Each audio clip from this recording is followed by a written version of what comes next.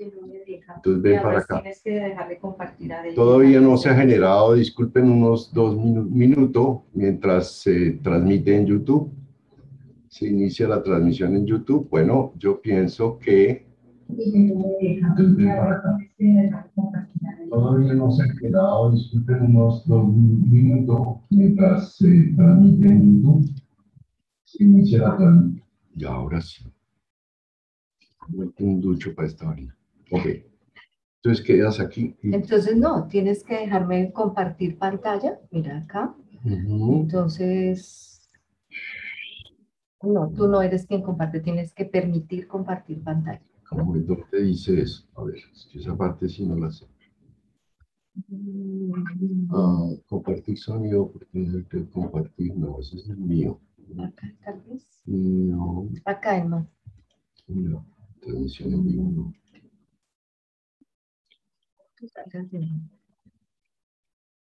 ¿Qué quieres generar la, la, la Tienes que dejar compartir la pantalla porque si no David no va a poder mostrar su... ¿Dónde está David? David, David, David. Pero antes dame la posibilidad a mí. Mm, pero es que no me aparece el...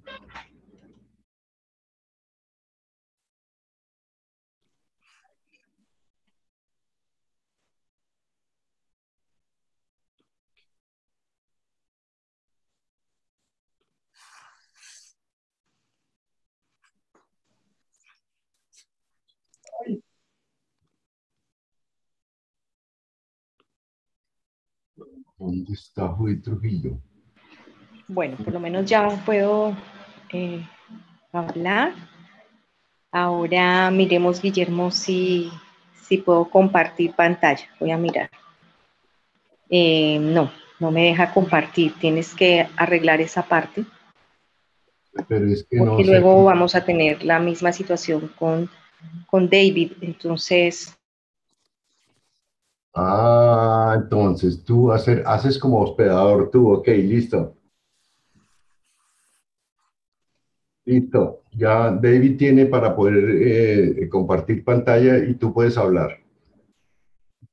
Adelante.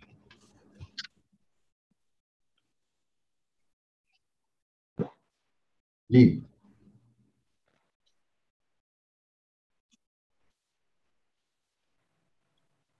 ¿Qué pasó? Ya, ahora sí creo que me están escuchando.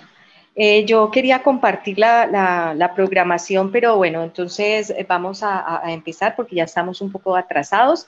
Entonces, em, después de nuestra inauguración, eh, viene la conferencia del investigador David Whitley de los Estados Unidos.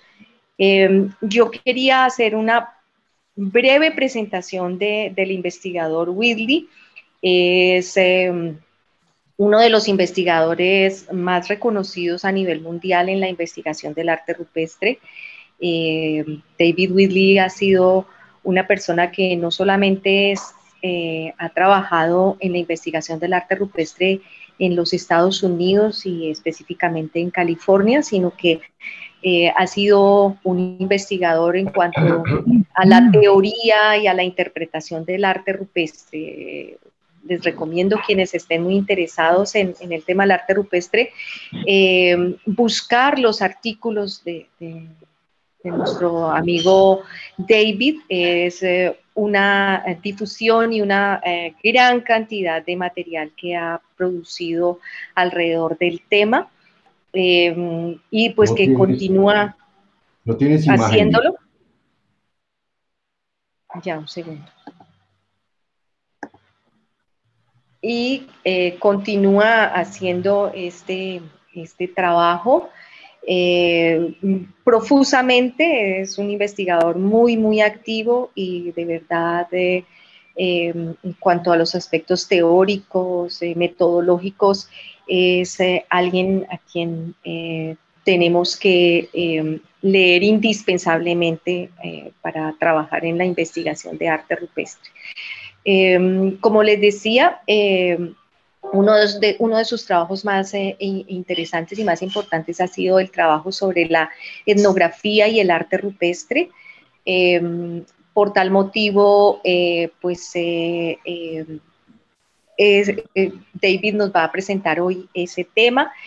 quiero también decirles que es uno de los primeros investigadores que eh, se acerca a la interpretación del arte rupestre a través de un tema muy importante que es el, chamanismo y eh, logra eh, encontrar algunas relaciones entre el arte rupestre, algunos trabajos etnográficos y la figura del, del, chamán y todo lo que representa en algunas comunidades.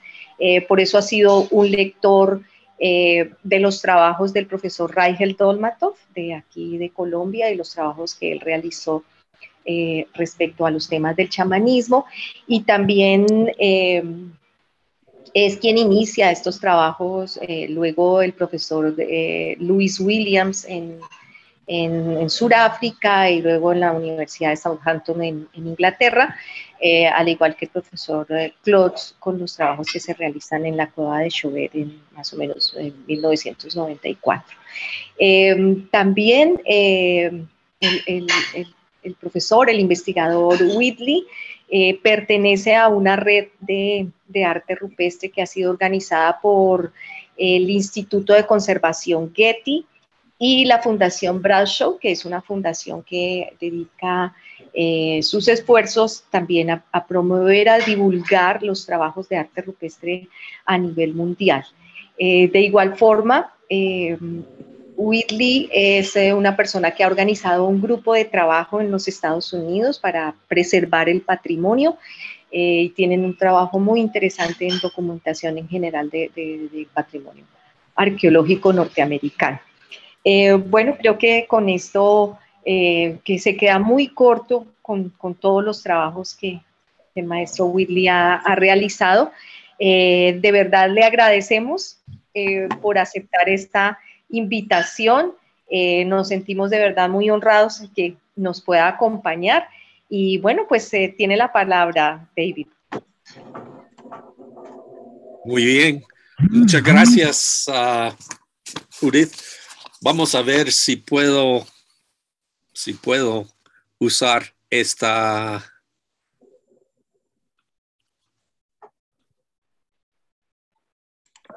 No, no está funcionaba. Voy a poner aquí en el computador de Pablo. ¿Y si aparece eso no? Sí. Ah. Sí, porque entra con mi cuenta de correo.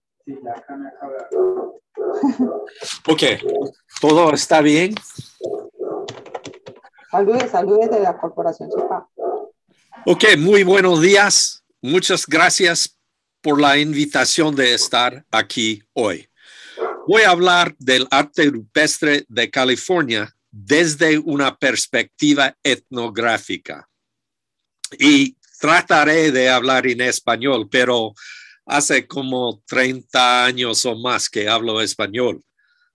Probablemente voy a hablar en spanglish más que en español, pero con su permiso, vamos a ver. California fue ocupado por cazadores y recolectores hasta el contacto con los europeos.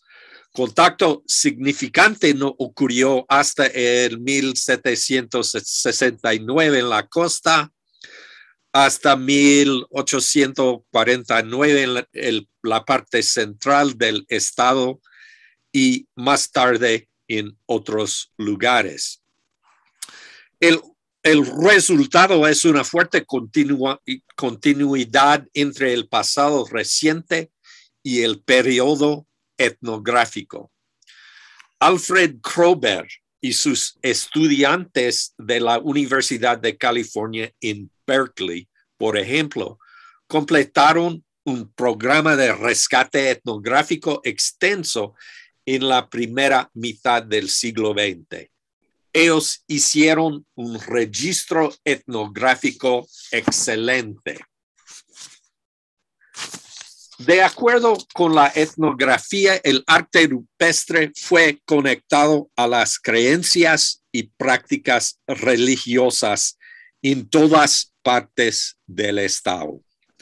Estas religiones eran fundamentalmente chamánico y a un nivel general, el arte rupestre fue también, por lo tanto, chamánico. A pesar de esto último, variación sustancial existente en el origen y la función del arte rupestre, quién lo hizo y lo que representaba. Hoy vamos a ver cinco regiones del arte rupestre para ilustrar el tipo de variabilidad que puede ocurrir en las orígenes, funciones y significados del arte rupestre chamánico. La, primera región es el centro sur de California. Esta región fue ocupado por los tribus Chumash y Yokuts. Su arte está pintado, a menudo policromático y se ha descrito como psicodélico. La mayoría de los sitios se encuentran en pequeños abrigos o cuevas ubicadas cerca de los pueblos. De acuerdo con la etnografía, el arte fue hecho por los, los chamanes para ilustrar sus visiones sobrenaturales. David, disculpa, es que no estamos viendo tu pantalla. Ah, Tienes que compartirla, David. Compart o se la generamos aquí si quieres. Ah, no entiendo, disculpe. Could, could, you share your screen, please? Oh, I thought I, I thought I was. I did. We can see it. Okay, I have uh, I have tried that. Okay, thanks. Let me try again.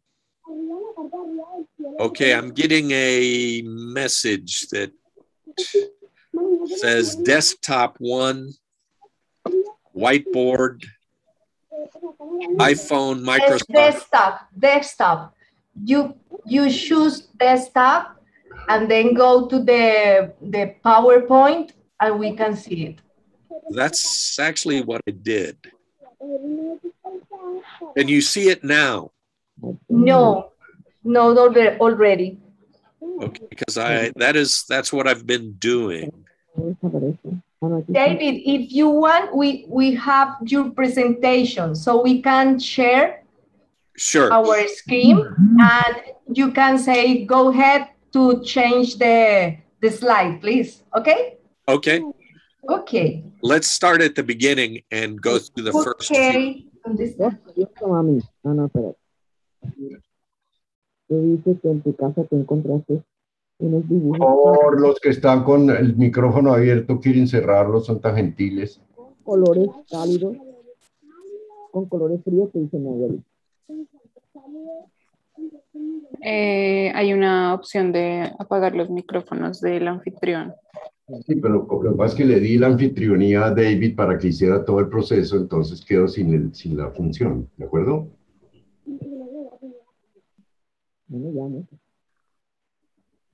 ¿En qué lo estás haciendo? Pero digo con pintura.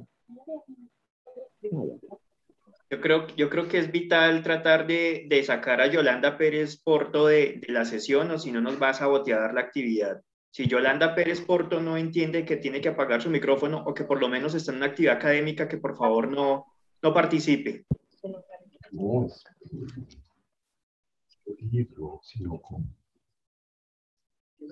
Ya está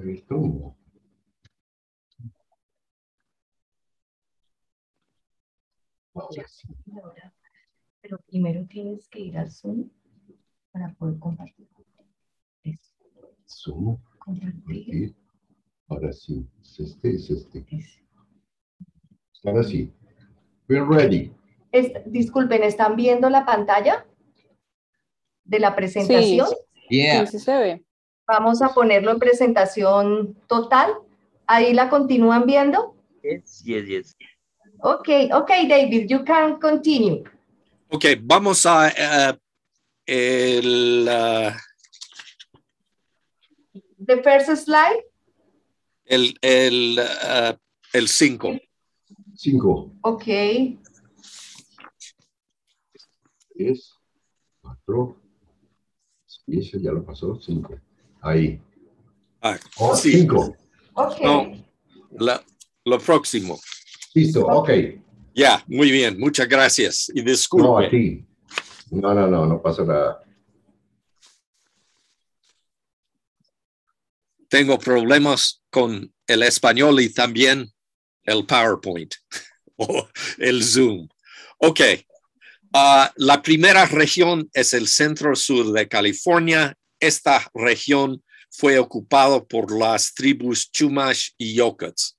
Su arte está pintado a men- menudo policromático y se ha descrito como psicodélico. La mayoría de los sitios se encuentran en pequeños abrigos o cuevas ubicadas cerca de los pueblos.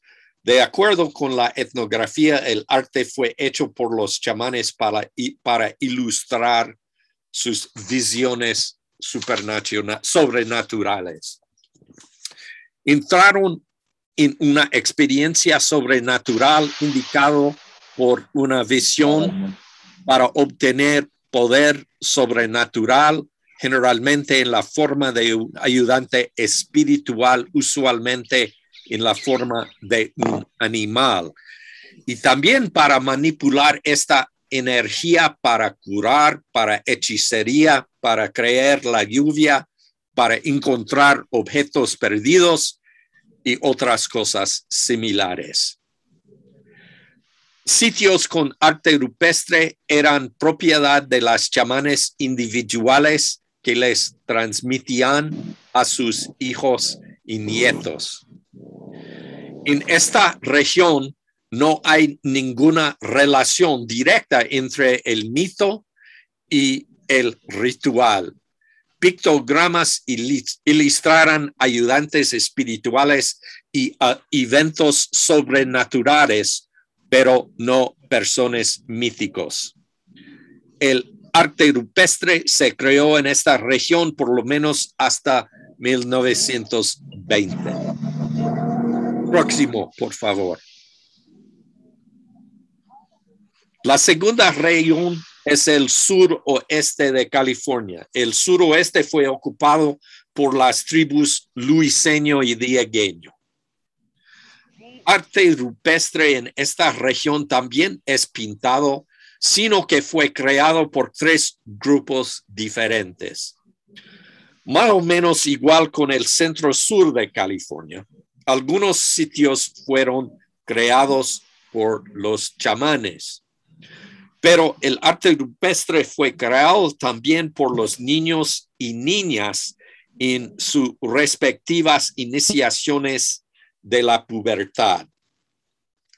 Los niños pintaron motivos negros curvilíneos en sus sitios. Las niñas, en contraste, crearon pinturas rojas rectilíneas en sus sitios. Negro es el color masculino y rojo el color femenino en esta región. Sitios de las niñas son especialmente comunes con uno en cada pueblo importante. Los motivos incluyen huellas de manos rojas, zigzags y cadenas de diamantes. Zigzags y cadenas de diamantes simbolizan la serpiente de cascabel, el espíritu ayudante más importante para las niñas. Uno de los propósitos de esa iniciación era tener una visión y obtener un ayudante espiritual, más o menos al igual que los chamanes. Un ayudante espiritual era necesario para llevar una vida saludable y exitosa. El último arte rupestre creado en una iniciación de pubertad fue crea creado en 1895. Siguiente, por favor. La tercera región es el sureste de California, y fue ocupado por las tribus Mojave y Quechan. Su religión chamánica es muy diferente de las religiones de las otras tribus de California. Tiene una asociación fuertemente con su mitología. Al igual que el catolicismo, sus rituales eran en gran parte recreaciones de eventos míticos con actores míticos involucrados. Estas tribus hacen tres diferentes tipos de arte rupestre. Los chamanes hacen petroglifos durante las búsquedas de visión. Esto ocurre en la base de Avicuame, la montaña de, de los espíritus, su punto de origen y la habitación de su creador Dios Mastamho. En sus visiones, los chamanes reexperimentaron la esencia o patrón de la creación mítica, no su secuencia de eventos. El arte que hacen para representar la creación consiste en diseños geométricos. Los patrones intápticos vieron durante una visión. Próximo, por favor. Los muchachos también hacen el arte rupestre durante sus iniciaciones de pubertad. Se tratan de una larga carrera por el desierto en el camino de los sueños, se dicen. Hay que obtener un sueño o visión durante esta carrera y graban sus visiones en las rocas. Ah, próxima, por favor.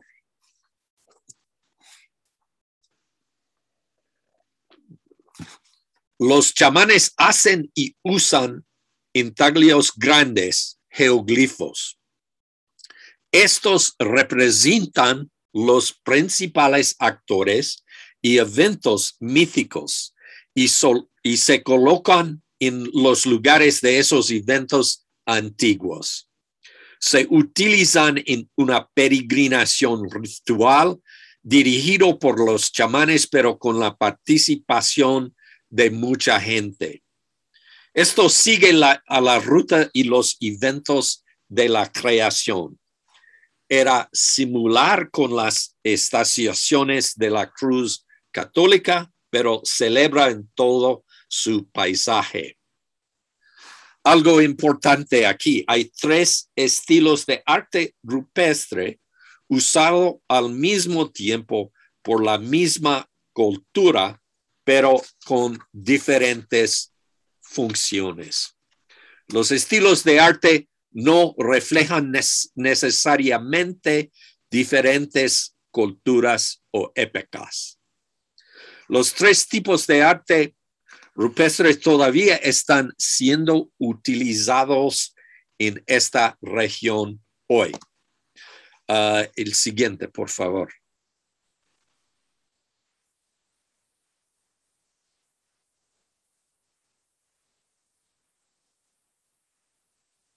La siguiente región es la Gran Cuenca en el este de California, el desierto Mojave.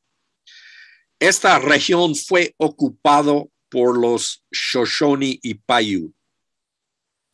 Petroglifos en esta región desértica fueron creados por los chamanes, similares a las prácticas en el centro sur de California en sus búsquedas de visión. Sus sitios se encuentran usualmente asociados con fuentes de agua que también están ocupados por espíritus. Se cree que algunos sitios tienen un tipo especial de poder. Chamanes viajan grandes distancias a esos lugares para obtener sus visiones y su poder especial. Los sitios no son propiedad privada de chamanes individuales o de familias de chamanes entonces. Muchos chamanes, chamanes de varios lugares pueden usar un sitio específico. Las montañas de Coso en el este de California era un foco de poder asociado con el control chamanístico de la lluvia. Este lugar tiene la mayor concentración de arte rupestre en Norteamérica y chamanes vinieron de lugares lejanos como 1200 kilómetros para obtener este especial poder. El motivo más, común en estos en los petroglifos es el borrego. Este fue el ayudante espiritual de los chamanes de la lluvia. Al igual que el centro sur de California hacia al oeste, pero no como la región de los mojaves y quechanes hasta hacia el sur, el arte rupestre de la Gran Cuenca no tiene ninguna relación directa con los mitos. El arte rupestre de la Gran Cuenca se hizo por lo menos en el último siglo y posiblemente todavía se está haciendo hoy. Siguiente, por favor.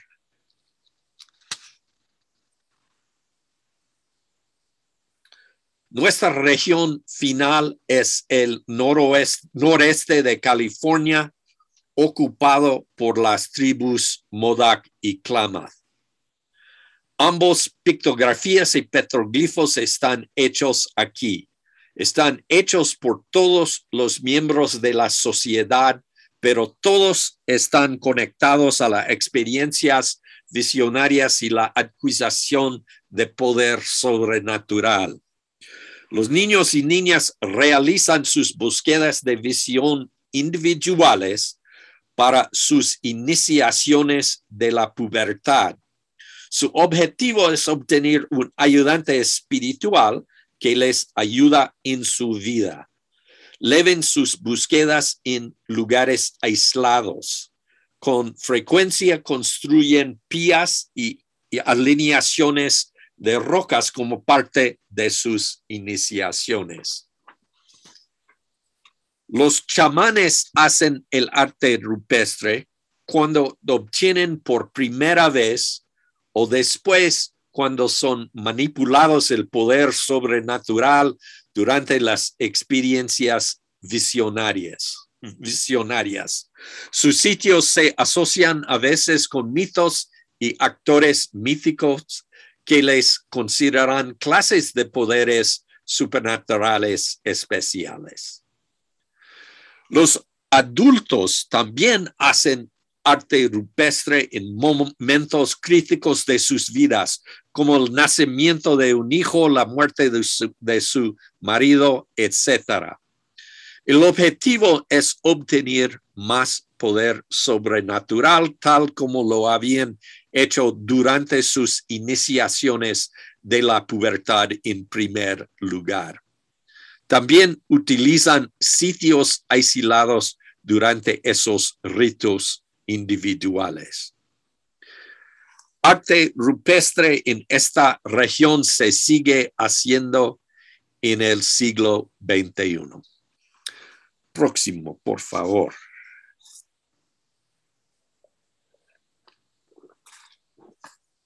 El arte rupestre de California es una expresión de las creencias y prácticas religiosas de las, las tribus indígenas. Estas religiones fueron o son hoy chamánica. Por esta razón, así es el arte rupestre. Pero esta, esto no significa que todo es lo mismo. La etnografía muestra que mucha variabilidad existe en el arte rupestre chamánico. Hay variabilidad en los grupos sociales, de género y de su edad en los que hacen el arte. También hay variabilidad en los tipos de ceremonias, ceremonias asociados con el arte y en lo que el arte significa. Pero e, es importante destacar que todas estas son explicaciones primeras por el arte, el origen principal y el significado y su función por el creador. Pero todo el arte rupestre también tiene efectos secundarios. Su función simbólica por la sociedad en general después de haber sido creado.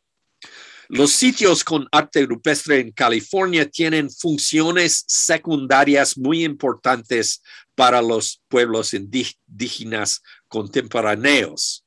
Los sitios son lugares donde los espíritus religiosos residen.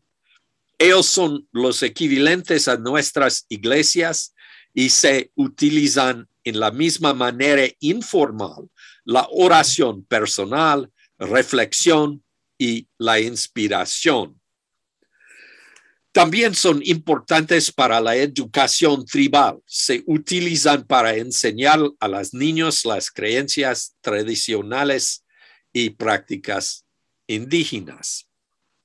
Y los sitios también son muy importantes para los pueblos indígenas por establecer la identidad propia.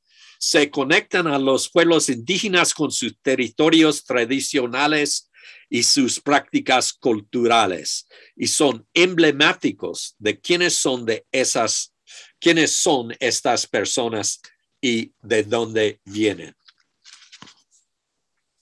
Todas estas razones establecen la importancia de proteger y guardar estos sitios para eh, asegurarse de que se conserven para el futuro.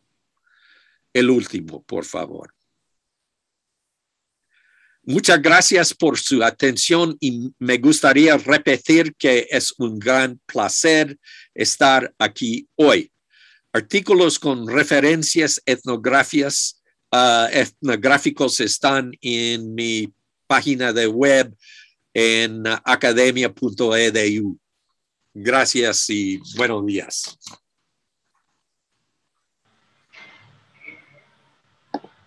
Muchas gracias, David, por, tu presentación. Eh, en verdad es eh, eh, muy importante para nosotros conocer este tipo de investigaciones en donde la etnografía juega un papel muy importante para las interpretaciones.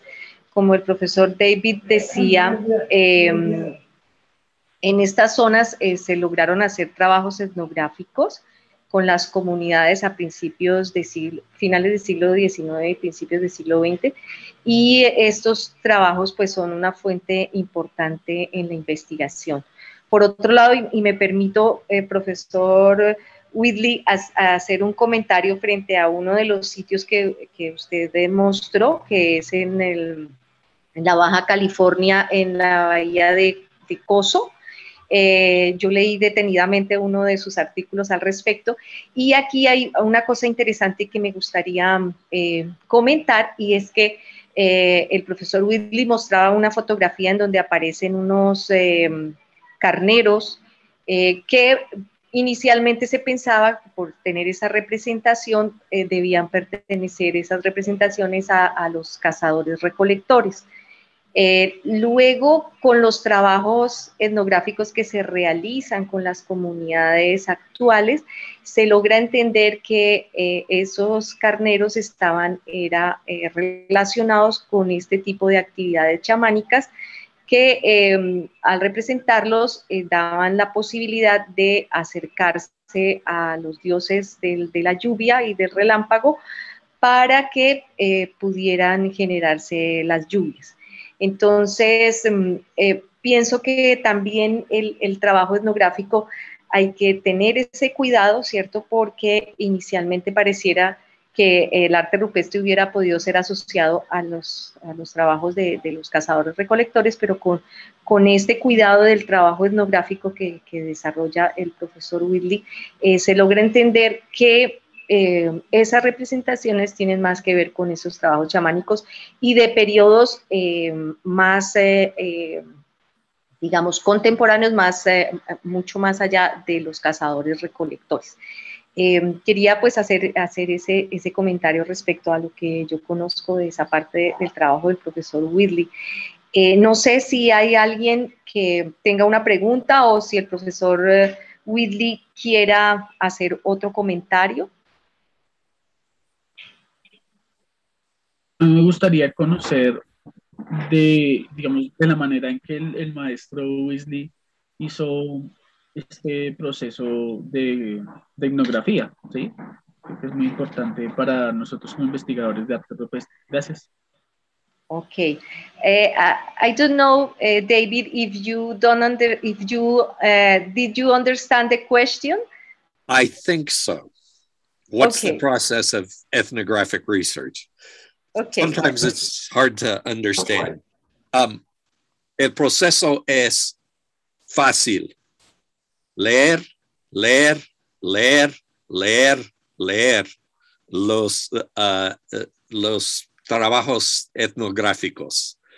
Uh, es un proceso sin terminación. Es fácil, pero es muy difícil. Ok, muchas gracias. Eh, ¿Alguna otra pregunta? Hacer un comentario. Eh, sí.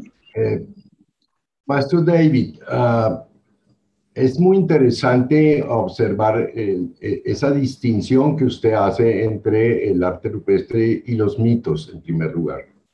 La segunda distinción que me llamó más la atención es la, la, la, la determinación objetiva de que las eh, representaciones de arte rupestre de la misma etnia tienen características de arte rupestres distintos. E, eso sí que sería muy interesante que tú lo, que lo pudieras ampliar. Ah, ¿Ampliar qué parte? Ah, que las etnias eh, tienen distintas variedades de arte rupestre, no solo uno, y distintos artes rupestres corresponden a una misma etnia. Esto es muy interesante. Sí. Um, si entiendes, uh, el, eh, fundamentalmente, uh, nuestro let me ask, let me answer this in English. It would take me a while to figure it out. Okay. Yes, I, I, yeah, and then maybe Judith can translate. Uh, okay. Y- you are asking about the situations where we have one culture making different kinds of rock art. Is that correct? Yes, correct. That's what I thought. Okay, well, the point here is archaeologists worldwide have misunderstood the concept of style. Mm-hmm. Style is a very, very complex phenomenon. And we can have styles that do correspond to a culture and a time, but we can have styles that um, are specific to a gender, are specific to a particular age group, are specific to a kind of ritual, we can also have pan tribal styles, styles that may extend beyond one culture. An example of pan tribal styles is the cupules. All the California groups made cupules, and for the same, pretty much for the same reasons. They were part of girls' puberty initiations. So that, that is a pan tribal style, but it depends on the culture and what they're, they are doing. Okay. Judy. Bueno, voy a, voy a tratar de hacer un resumen. Eh, en primer lugar, el profesor Whitley dice que eh, los arqueólogos han malinterpretado el significado de, de, lo que es el estilo en el arte rupestre. Y eh, él dice que el estilo puede ser el mismo a través del tiempo eh, para, distinta, para una misma cultura o puede ser eh, el estilo para distintas eh, culturas. por ejemplo, él dice que puede haber un estilo que hace relación al género, es decir, si son mujeres o si son hombres los que lo realizan, y puede permanecer ese estilo durante un largo periodo. Em, la otra posibilidad es que eh, tenga que ver con ciertos ritos, esos, esos estilos, y me olvidé el otro, si alguien me ayuda a recordar la otra posibilidad. Em, bueno, eran los géneros, eh, los mitos, ritos y bueno, no recuerdo el otro. Y él dice que em, también pueden existir algunos estilos que se repiten a nivel mundial, como es el caso de las cúpulas. Eh, para quienes no están muy cercanos a la terminología de arte rupestre, las cúpulas son unos pequeños agujeros que se hacen en la roca, se eroda, eh, la, roca y se tienen unos pequeños huecos. Y esos huecos son eh, los que se conocen como cúpulas y eh, que están asociados a ritos de iniciación eh, femenina. Creo que eh, ese es el resumen. No sé si está de acuerdo, profesor Whitley. Sí. Ok, muchas gracias. ¿Alguien tiene otra pregunta? Carlos. Sí, Carlos. Maestro David, muchas gracias por la ponencia, realmente muy interesante. Eh, y usted mencionaba que en algunos casos los grabados o las pinturas están directamente, digamos, asociados a rituales de paso de la pubertad o de la infancia hacia la pubertad o a la adultez. Mi pregunta es si un mismo individuo eh, hace eh, técnicamente en alguna época pintura y después petrolifos, o si los petrolifos corresponderían solamente, digamos, a un momento, si un individuo arranca haciendo petrolifos, solo hace petrolifos toda su vida, o si mezcla técnicamente pinturas y petrolifos. Y, por supuesto, si hay algún caso donde estén, digamos, petrolifos con eh, pintura en los surcos o cosas por el estilo. Judith, help me there. Okay, so, so uh, Carlos is asking if uh, there is a relationship between petroglyphs and pictographs. If, uh, for example, if a group or, or uh, a gender, a, a, a, kind of gender, um, make just pictographs or petroglyphs, or they use in one period or for some case uh, pictographs or petroglyphs. And another uh, um, question that uh, Carlos uh, asked is uh, if there are superpositions between pictographs and petroglyphs. That is a very important question. Could you put your, your, your camera, David? Okay. That, that is a very important and difficult question. And the answer is depende. depende.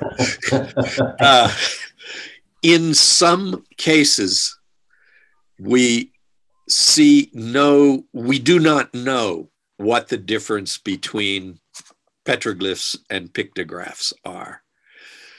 Um, they seem to be the same. Sometimes people make pictographs, sometimes people make petroglyphs. Um, in at least one case, we see pictographs always painted over petroglyphs. But, and, and of course, we do know that some groups, like young girls in their puberty initiations, in southwestern California always painted and always painted certain motifs. But this is a very complex issue that we haven't figured out yet. Very difficult, but very important. I just don't know the answer. Ok, eh, el profesor um, Whitley dice que es una pregunta muy interesante y bastante difícil de responder porque depende. Eh, dice que, por ejemplo, hay algunas figuras que tienen que ver un tipo de, de, em, arte rupestre que tiene que ver con las iniciaciones a la pubertad de las mujeres, eh, en donde se hacen pinturas, o, otro, o pueden ser petroglifos. Eh, que existen sitios en donde efectivamente aparecen pinturas y petroglifos y que también pues aparecen las superposiciones, que es un tema eh, complicado de, trabajar y pues que eh, tendría pues que particularizarse en una región, en una situación muy específica, pero que generalizar es, es, es muy complicado. No sé si te respondieron, Carlos. Sí, muchísimas gracias, maestro David. Ok, Aileen, eh, sigue, por favor. A ver, creo que ya está, ¿no? Se me oye. ¿Sí? Uh, good morning, uh, doctor. Uh, thank you for the effort to speak in Spanish. I found this gender differentiation between colors and shapes. Very, very interesting. Um, the style remains, but can also be reshaped by inter interaction with other groups, for example. Uh, can you tell us more about it, say, please? Uh, I say no in Spanish. Thank you.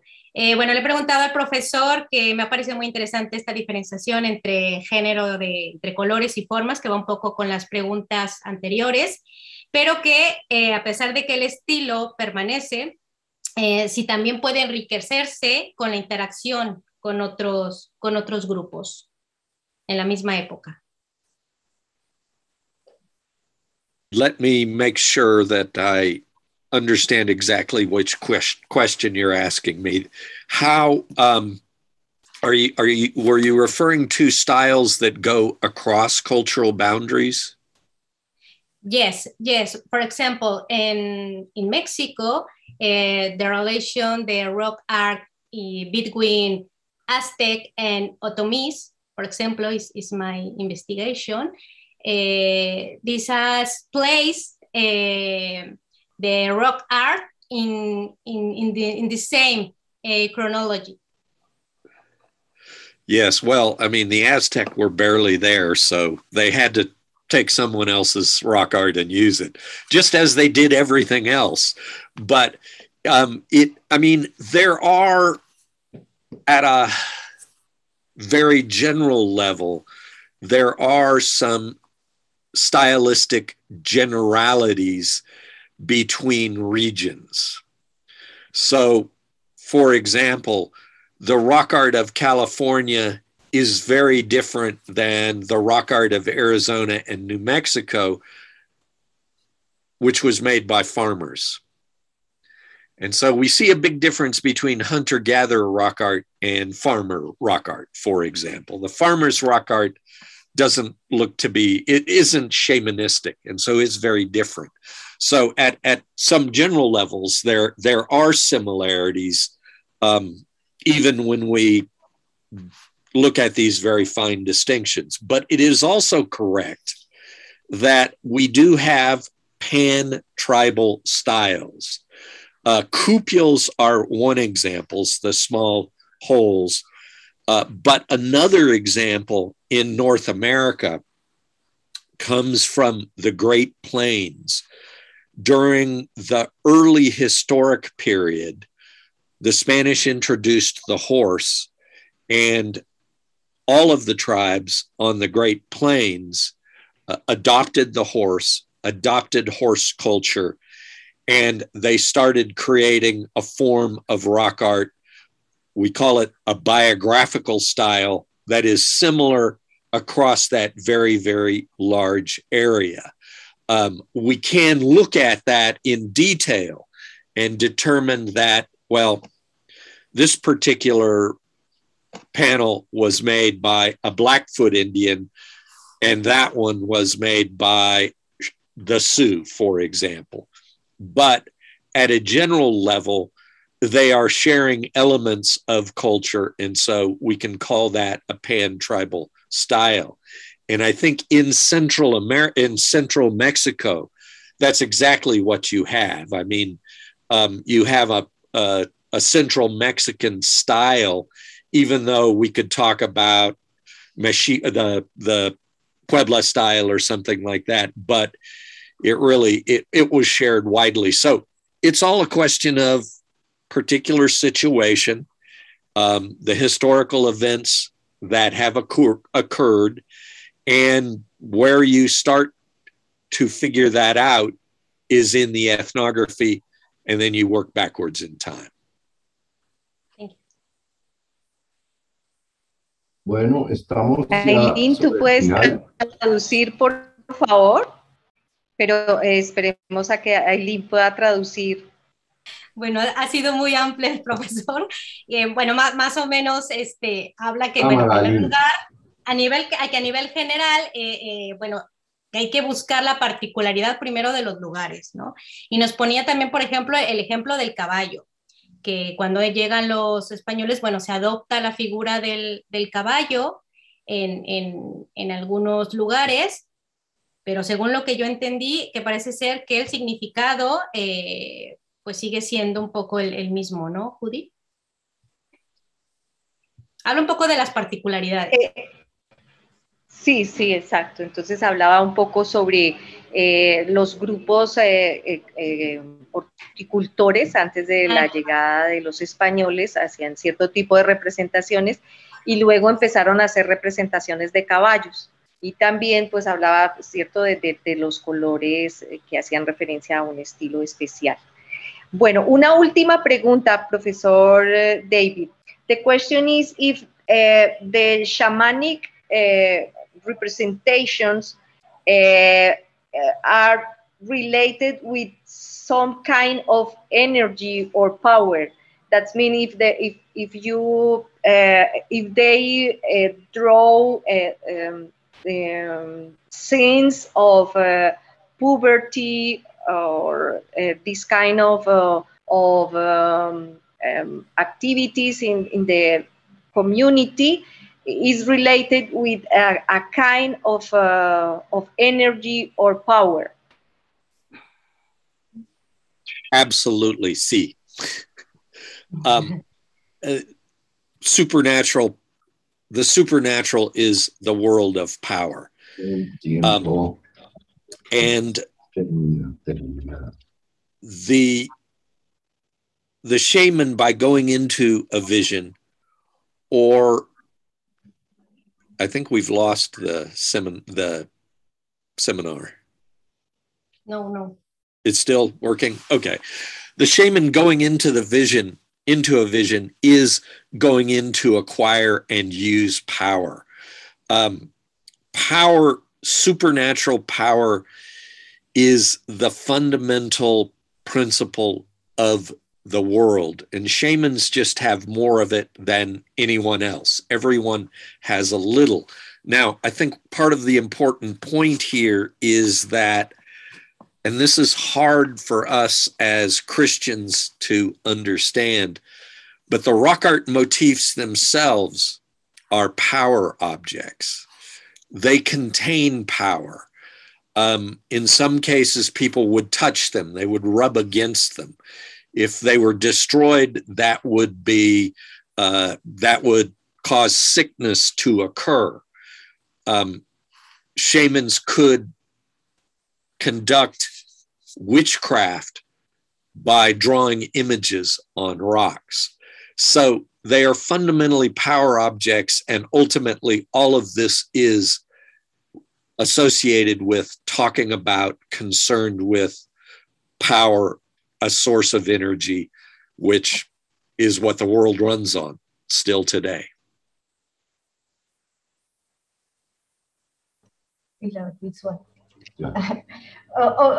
eh, thank you, David. Eh, la respuesta es que sí, que efectivamente eh, existe un poder especial para cada una de las representaciones. Incluso él, él trae a colación que eh, las comunidades, las personas eh, tocan ciertas figuras para sentir un cierto poder especial, porque las figuras en sí mismas tendrían como esa energía, esa, esa potencia que da las posibilidades de, de lo que ese dibujo eh, em, daría para, para, la comunidad en específico. Bueno, em, yo creo que eh, ya estaríamos bien de las, del, del tiempo, estamos pasados un poquito. Profesor Whitley, muchas gracias por su participación, por brindarnos esta hora eh, de sus conocimientos. Es de verdad eh, muy importante y agradecemos muchísimo su colaboración. Mi placer. Muchas gracias. We are glad to see you. It's better. It's a good presentation. Thank you so much. Congratulations. Thank, thank you. you. And thank everyone for listening. Okay. Okay, thank and, you. And see you later. Entonces, eh, damos por terminada esta sesión, igual que en la anterior. Eh, vamos a, a, a, parar para poder grabar la sesión y en cinco minutos estaríamos con la presentación de Aileen. Okay. Muchas gracias. Carmen, un gusto verte. Eh, muchísimas gracias a todos los presentes. Eh, profesor Ridley, thank you so much. Eh, a todos los presentes, son las 11 y un minuto, entonces yo creo que es, es, conveniente que a las 11 y 10 demos inicio a la transmisión en vivo para poder acomodar el tema de presentaciones y Sí. listo. Entonces, Tal cual, 11 listo. presentación, eh, transmisión en vivo por Facebook y por YouTube para los presentes. Ok, ojalá hayan estado satisfechos del trabajo.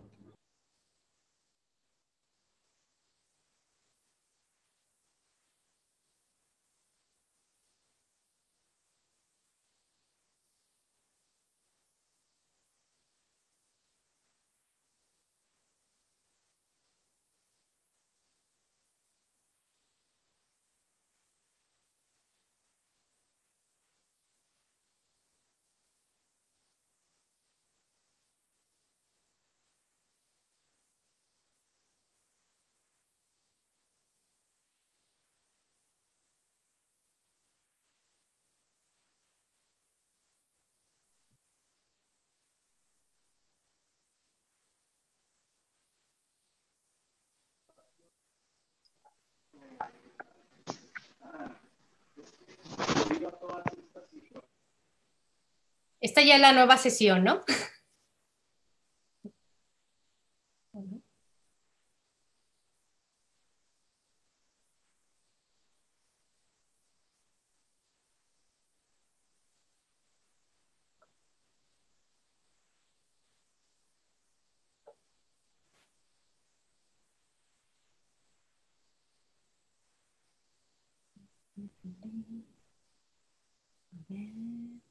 Mm-hmm.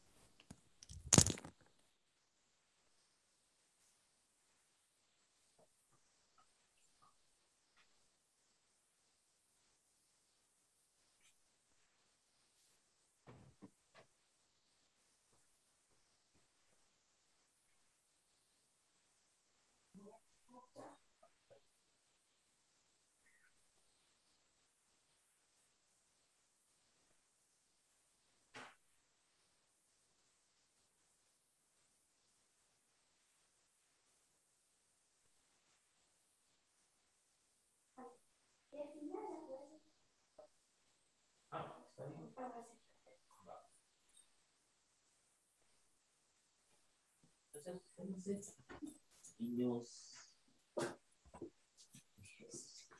que viniera alguien.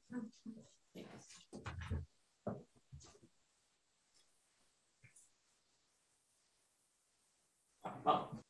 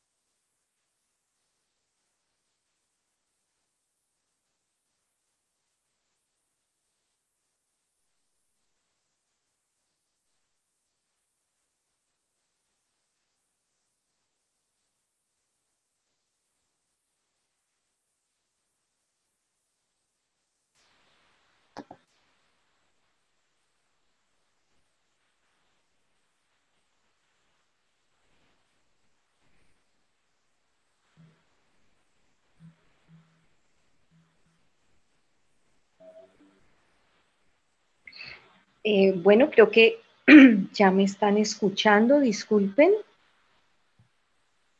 Quisiera saber si me escuchan. Sí, te escuchamos. Ok, perfecto. Es que tenemos aquí Ok, gracias. Entonces, em, vamos a dar inicio a la siguiente exposición. Eh, pero primero queremos saber si ya estamos listos para la grabación, si ya podemos dar inicio para que quede la sesión eh, totalmente grabada desde el inicio. Daniel, ¿tú nos cuentas?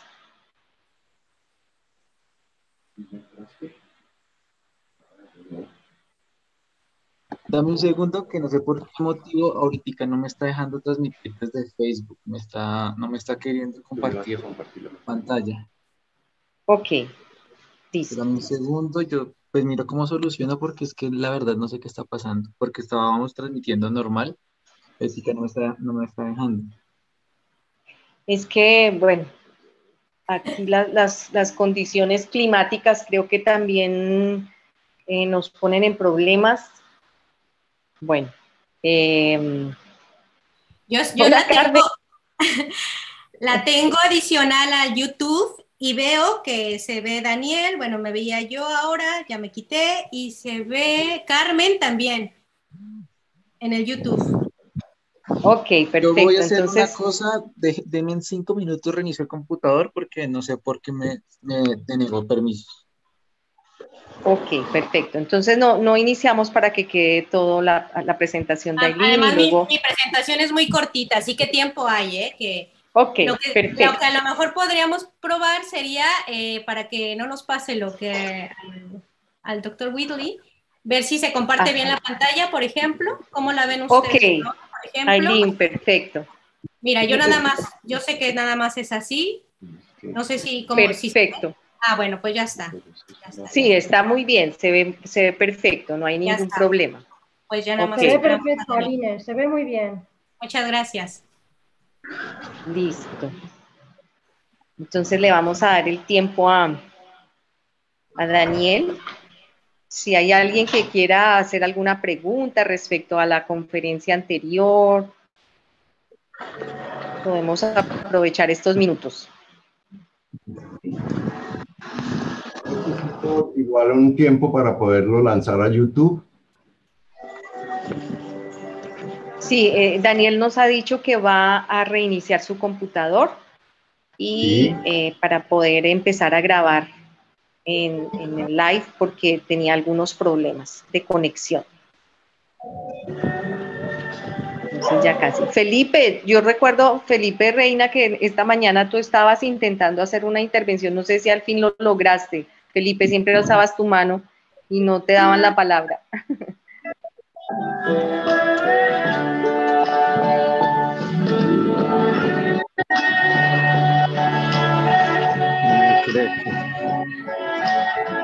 ¿Alguien tiene no sé quién nos tiene la música. Ya, listo, dale, Felipe.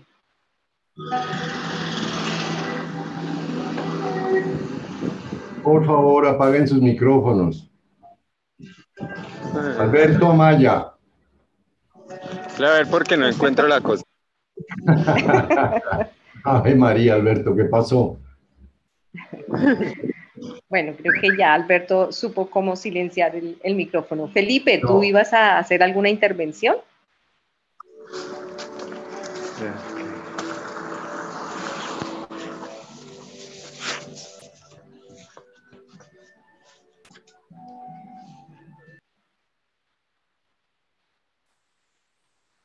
No, parece que Felipe no va a hacer la intervención. Bueno, entonces esperamos acá a, a que Daniel nos dé el paso.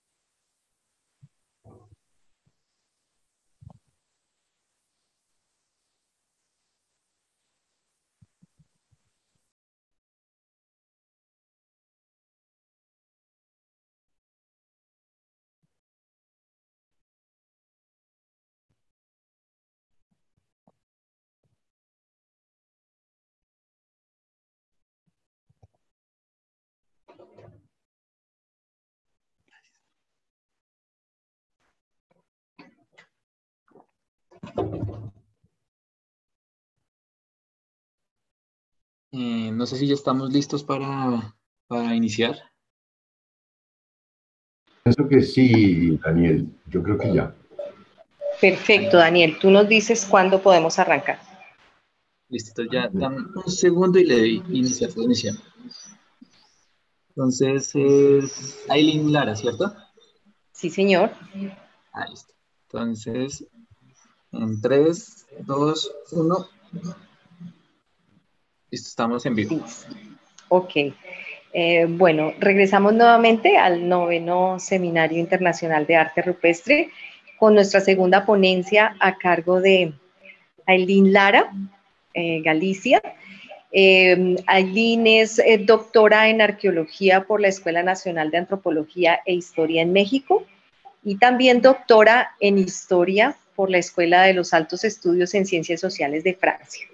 Actualmente colabora como investigadora en el Instituto de Estudios sobre América Latina de la Universidad de Sevilla y pertenece al grupo de investigación Territorios y Paisajes en la Prehistoria Reciente de Andalucía. Eh, Atlas se denomina el grupo de investigación, su sigla. Dirige el proyecto de innovación docente Manifestaciones Rupestres en América Latina, también en la Universidad de Sevilla, y ha publicado trabajos en torno a las manifestaciones rupestres del Valle del Mezquital Hidalgo en México, aplicando algoritmos matemáticos en la búsqueda de patrones y desde el ámbito etnoarqueológico, interpretando las pinturas rupestres como escritura mesoamericana. Es un tema, Aileen, también muy interesante. Eh, ojalá que en una próxima oportunidad pues eh, eh, puedas presentarnos también esos, esos adelantos de tu investigación. Es un tema muy novedoso y, y también sería muy importante. Pero pues hoy Aileen nos va a hablar sobre las redes de investigación como gestión y divulgación de los proyectos de arte rupestre en América Latina. Entonces, eh, Aileen, bienvenida. Nos agrada muchísimo que estés aquí. Eh, quiero contarles pues que eh, ah, últimamente hemos estado en contacto. Aileen, como decía Guillermo al principio, ha desarrollado unos grupos de encuentro muy interesantes de América Latina, en el cual hemos estado involucrados y agradecemos a Aileen por, por ese esfuerzo de mantenernos en contacto. Entonces, bienvenida, Aileen. puedes continuar. Gracias muchísimas gracias a ti, Judy, de verdad, por la, por la invitación, a ti y a Guillermo. Y pues bueno, más que nada, buenos días y tardes a, a, todos. Eh, sí, efectivamente, que yo prometo hablar de mis cosas más interesantes para la, para la próxima.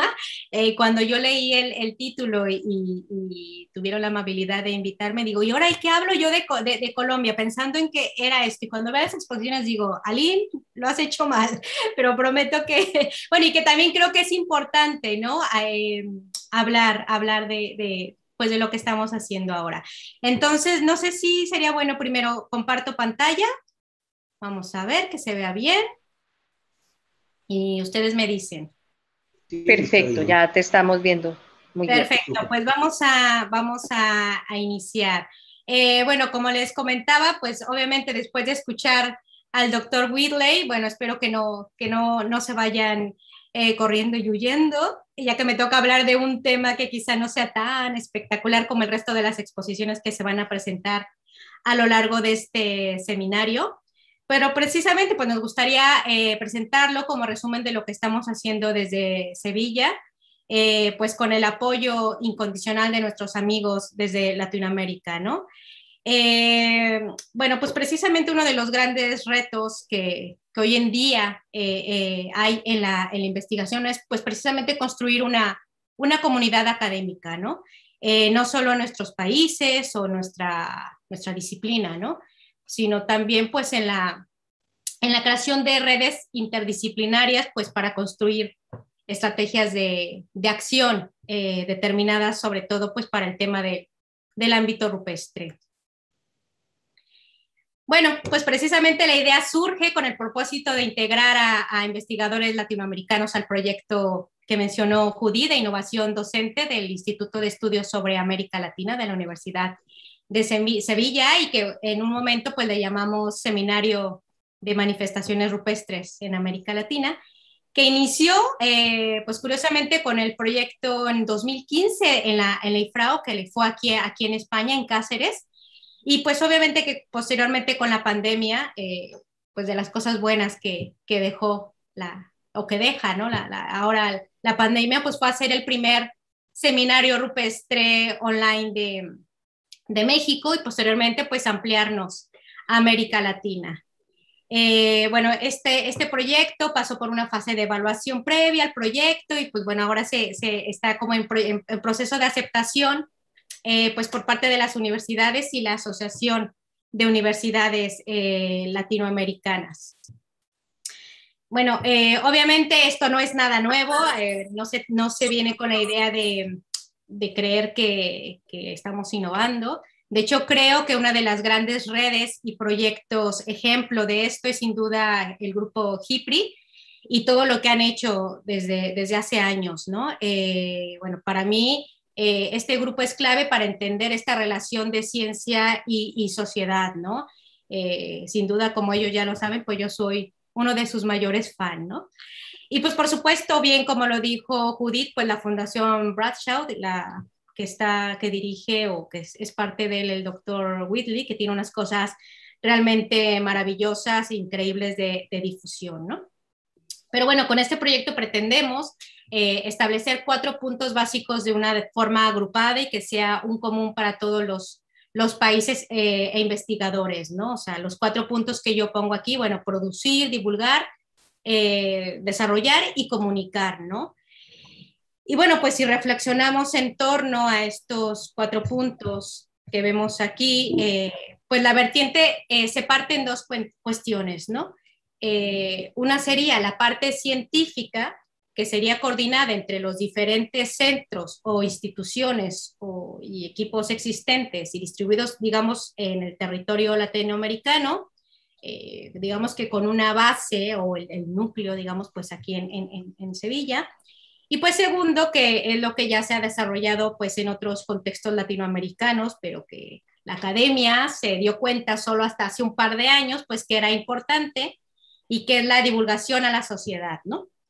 Eh, obviamente también la, divulgación de los proyectos de investigación a, otros países no latinos fue uno de los objetivos principales, pues precisamente, y lo digo abiertamente, pues con la idea de no limitar el big timing, ¿no? O sea, que es este sinónimo de la, de la ocultación y, y, no citas de los trabajos anteriores de las zonas de estudio, ¿no? Que claramente sabemos que hay varios ejemplos de ello y que, eh, pues aunque hay que aceptarlo, ¿no? Pues también sucede muy a menudo en nuestros propios países. Eh, entonces, bueno, la, idea con este proyecto, pues es que se pretende unir a todos los grupos que estén trabajando sobre un mismo tema, en este caso, pues el, arte rupestre latinoamericano, y conseguir pues una mayor eficacia y rendimiento tanto de los investigadores latinoamericanos como europeos que trabajen en Latinoamérica con latinoamericanos. A ver. Entonces, bueno, eh, los objetivos pues van encaminados a estas dos líneas, que es contribuir a establecer canales de comunicación entre grupos de investigación, facilitar la, la, colaboración y compartir recursos, y pues con el objetivo de ser pues también competitivos en el marco europeo de la investigación para atraer recursos, ¿no? Eh, a pesar de que se hacen muchos seminarios, se hacen conferencias internacionales, eh, pues obviamente pues estamos en constante movimiento los investigadores, pues me pareció eh, pues gran idea pues acercar a, gran escala a través de, lo que hoy está en broga, pues al fin y al cabo que son eh, todos los canales de, redes sociales, pues eh, precisamente las investigaciones que hacen los latinoamericanos, ¿no? Entonces, bien, pues la red, a pesar de que suena muy académica y quizá muy aburrida, eh, pues se conforma pues con agentes sociales, ¿no? Y pues en todos los ámbitos, incluyendo sobre todo también a los pueblos originarios. Eh, Guillermo decía en la, en la, inauguración de, este seminario, pues cómo incluso Carlos también mencionó, ¿no? Cómo también se interactúa con el grupo o con las, también incluso con las zonas rurales, ¿no? De, de, estos grupos y que sabemos pues que en, que en Latinoamérica, pues México, Colombia, Venezuela, eh, la misma Argentina, Bolivia, eh, pues están muy cerca los, los, grupos imaginarios o pueblos pueblos originarios, pues cerca de donde están las pinturas, ¿no? Entonces, pues varios de los investigadores que han participado en el seminario, pues como Mario Palacios, Judith Trujillo o Aisha Bashir Basha, pues nos han dado cuenta precisamente de estos proyectos arqueológicos encaminados a, pues a prestar atención a las necesidades de las áreas donde se encuentran estas manifestaciones rupestres y pues que a su vez pues sea una eh, forma de conservación de las mismas, ¿no? Con el apoyo de estos grupos o, pueblos eh, rurales, ¿no? Entonces, los campos disciplinares que han estado hasta el momento, pues son la arqueología, la historia, la etnohistoria, eh, la arqueometría, con, como bien dijo Guillermo, con, con Judith, eh, la, bueno, las matemáticas, que ahí, ahí, vamos jugando un poco, y pues se pretende integrar pues otras áreas de de conocimiento, incluso como la restauración, el dibujo y pues por supuesto la, lingüística, ¿no? Eh, el doctor Whitley nos hablaba, ¿no? De, esta comparación ahora con el arte rupestre en, América Latina, pero siempre le hemos dicho y, muchos, muchos investigadores lo comentan, pues que tenemos hasta cierto punto la gran ventaja de que en nuestros países pues todavía hay pueblos originarios que nos pueden ayudar y acercarnos a través de la lengua y a través eh, pues de su cosmovisión pues en alguna relación con el eh, arte rupestre, sobre todo pues muy apegada a la, a la conquista española, ¿no? Eh, bueno, los países que han participado hasta el momento en el seminario, pues son, son estos. La verdad es que hemos tenido mucha suerte eh, y gran honor con algunos de los participantes y pues los próximos que, participarán en, el siguiente seminario, pues van sumando cada vez más, ¿no? Mm, yo lo digo honestamente y humildemente que yo he aprendido mucho, he aprendido mucho sobre todo de como, como lo estamos haciendo ahora, ¿no? De, este encuentro, que aunque estemos muy lejos, la verdad es que nos, nos acerca mucho las, las redes, ¿no? A, este tipo de, investigaciones. Y como decía el doctor este, Whitley, sí hay que mucho, mucho que leer para hablar de la etnografía y de, de esta relación con la pintura, pero también se me hace como una cosa novedosa que gracias a estos seminarios, pues la verdad es que también podemos ver de pronto comparaciones, ¿no? Que presentan en, en Colombia o en, Venezuela y dices, oye, pues yo más o menos he visto algo, ¿no? Relacionado en, en, en México, por ejemplo, con, con Bolivia o con, con, con Venezuela, ¿no? Por, por, dar un ejemplo. Eh, bueno, ¿qué es lo que cambia un poco? Eh, pues es dejar claro que, que, que esta red eh, se organiza en una estructura matricial, ¿no? O sea, basada en, nodos eh, por países y áreas temáticas, ¿no? O sea, lo ideal es que cada nodo, como le llaman ahora las redes, eh, por país, pues tenga su, su, como su representante y su área temática, ¿no? Y que, pues como nuestros países son muy grandes, pues que este nodo también esté co compuesto por eh, grupitos más pequeños. Sé que suena muy utópico, suena, pero yo creo que, que, es posible, ¿no? Eh, bueno, los grupos de investigadores y, y, la, y las universidades o los, o los, grupos, pues serían esta unidad básica, ¿no? Eh, pero por eso digo, no sería una cuestión como piramidal, sino más bien como una, un, una cuestión circular, ¿no? Yo creo que es la mejor forma de, de, de ampliar eh, las investigaciones. Entonces, bueno, les presento rápidamente cuáles han sido los resultados hasta ahora, ¿no? pues precisamente gracias a estas eh, actividades de divulgación eh, es que la red pues ahora ha tenido gran acogida en, en, en las instituciones. Eh, como lo dijo Guillermo, iniciamos con el primer seminario de arte rupestre con grandiosos investigadores presentes en la en IFRAU. Y pues de aquí surge un libro, ¿no? Eh, y posteriormente hacemos un conversatorio de reflexión en torno al mismo, ¿no? Eh, otra cosa también pues importante es de atender que los asistentes a los seminarios pues obtienen un certificado oficial, no solamente como asistentes, sino también pues como horas lectivas, ¿no? Que siempre decimos, bueno, el papelito, bueno, el papelito a futuro ya verán que, que, que sirve bastante. Luego a veces estamos ahí rebuscando, ¿no? A ver, a ver, a ver qué más tenemos para el famoso eh, currículum, ¿no? Y pues los investigadores se forman como parte de, como colaboradores del, IAL de la Universidad de Sevilla y pues esto trae eh, pues otras cuestiones como intercambios, eh, becas, pues para los, los investigadores, que es lo que más queremos, ¿no? Y bueno, en este mismo año precisamente se extiende el seminario América Latina con increíbles investigadores, donde en lo personal no, no solamente eh, lo digo yo, sino que tengo una gran admiración por muchos, por muchos de, ellos, casi por todos los que presentaron. Y pues la verdad sí, aprendimos eh, muchísimo eh, de áreas un tanto, un tanto desconocidas, ¿no? Que fue eh, lo que más se, produjo.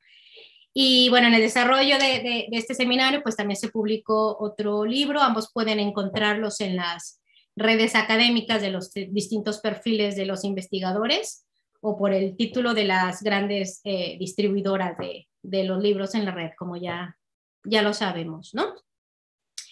Eh, ah, este año, por ejemplo, eh, es otra de las cuestiones que hemos querido tomar en cuenta, eh, ir en consonancia con los años internacionales de la, de la UNESCO, ¿no? Este año, pues, eh, eh, es y, y sigue, formó parte de, de, de la, del año internacional el seminario que hicimos acerca de la de la cueva como lugar sagrado y igual incorporamos a, sí. a investigadores de México. No No, que lo voy a bajar porque...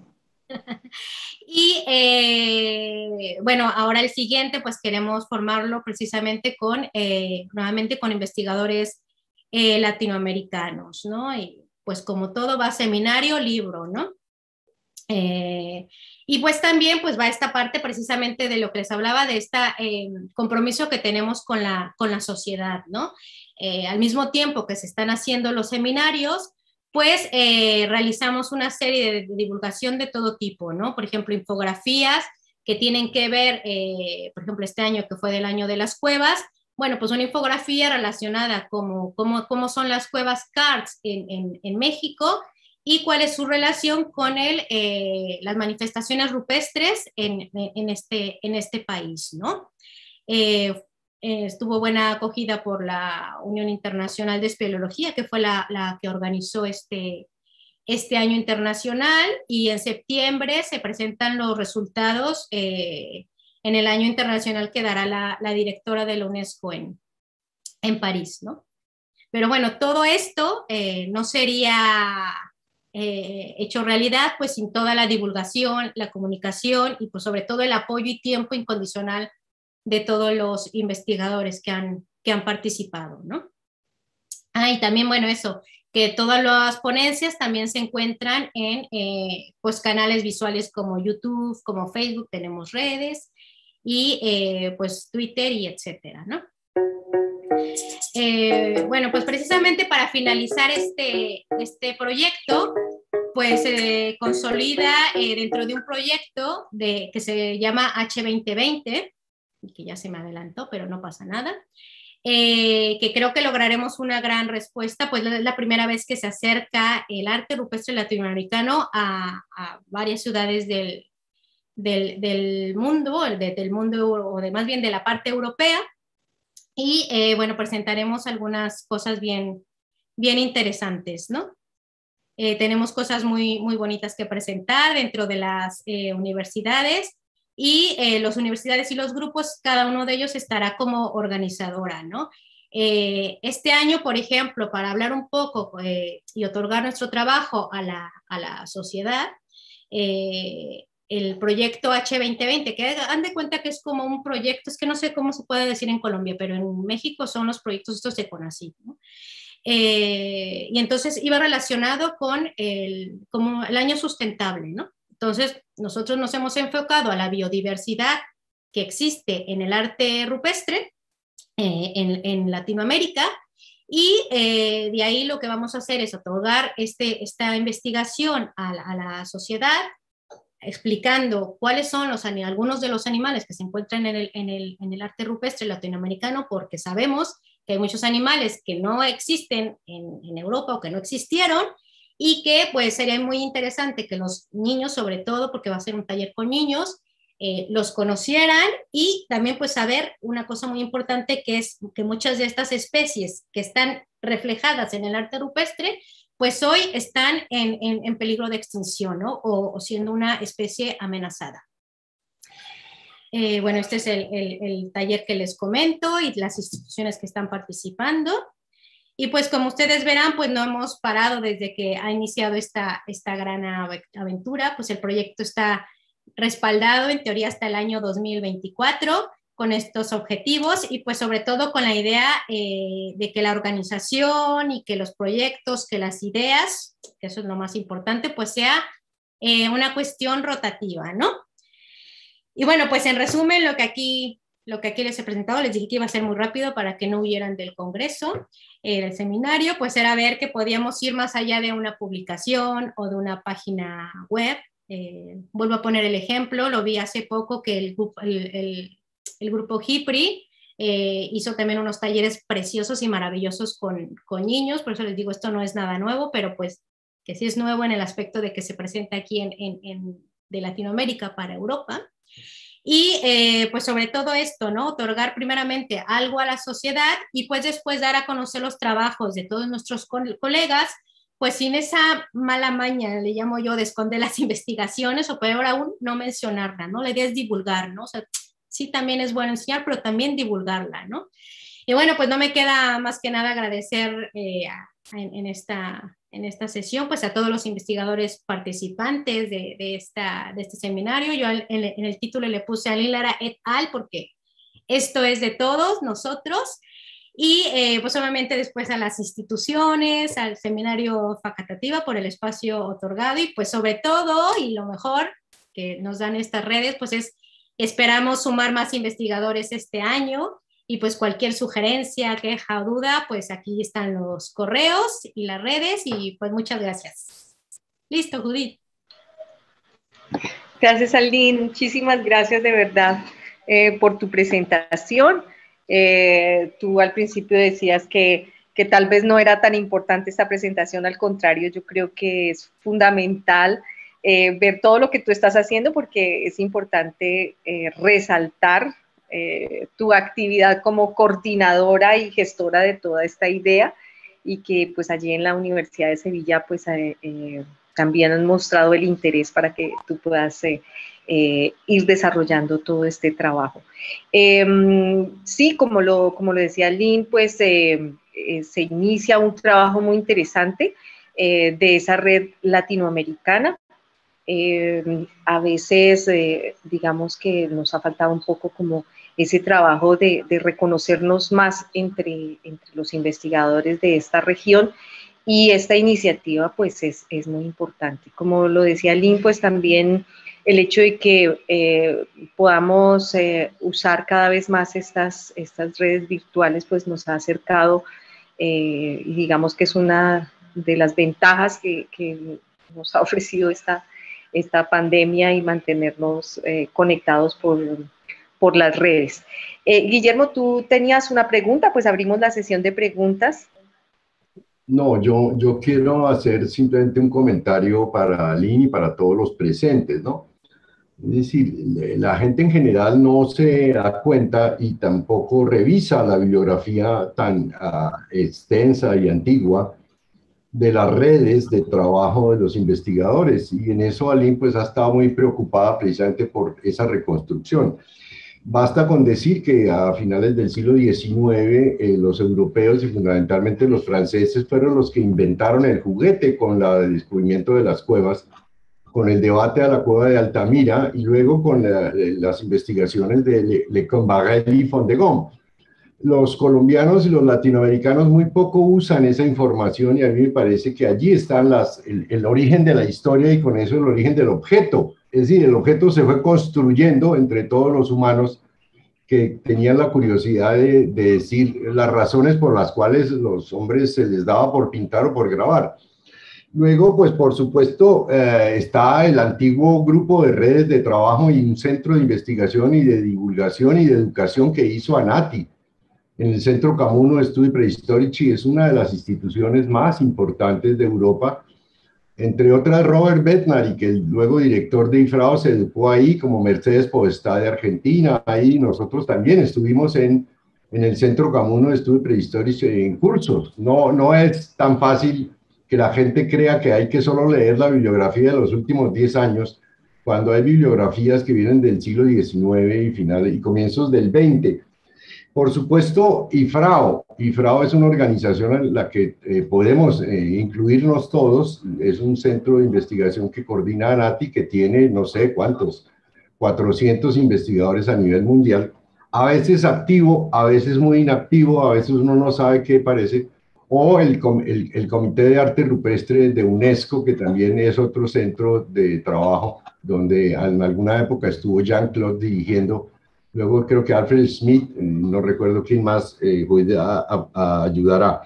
En América, que yo recuerde, cuando yo estaba empezando, me llamaron a una reunión que se llamaba los Simposios Internacionales de Arte Rupestre, y eran unos señores muy adultos que habían hecho toda clase de trabajos, eh, fundamentalmente Eloy Linares Málaga del Perú, Dato Pagán Perdomo de República Dominicana, eh, Helmut Fuchs del Canadá, Carlos Gradín, Antonio Núñez Jiménez de Cuba, y ellos se reunían y se daban las mañas de, presentarse en todos los congresos posibles con el simposio.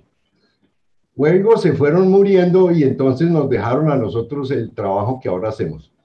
me parece que, que, eso es importante que lo tengan ustedes en cuenta porque nosotros, igual que Ali, no estamos inventando nada, sino modificando ahora con Internet las posibilidades y abriendo nuevos caminos que no tenían ellos, no tenían arqueometría, eso no lo tenían, Ali, no había esto, ni había los modelos de arqueología de paisaje que ahora son tan complicados y tan, eh, digamos, ¿cómo se diría eso? Molestos para los arqueólogos tradicionales, ¿no? Eh, luego también hay arqueología y etnografía de género y todo este tipo de cosas que comienzan a moverse en las historias de las discusiones que se pueden incluso imaginar como obras de arte hechas por mujeres y todo este tipo de cosas que empiezan a darse. Eh, ya lo dijo David eh, Whitley cuando hablaba de que los estilos tienen que ver también con el género, ¿no? Es muy interesante la propuesta porque nos pone a hacer otras cosas. Pero en final, felicitaciones a Lynn por la presentación y por la iniciativa y cuenta con nuestro concurso eh, hasta cuando yo tenga tiempo de, seguir conversando, no sea que tenga un Alzheimer profundo y entonces tendrán que hacerme homenajes mientras no me dé cuenta.